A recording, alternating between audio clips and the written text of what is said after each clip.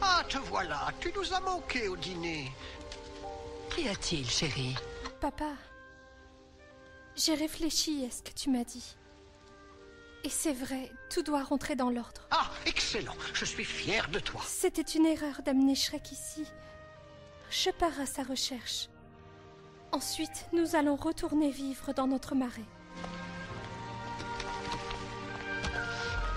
Fiona, je t'en prie. Ne, ne sois donc pas si entière. Tu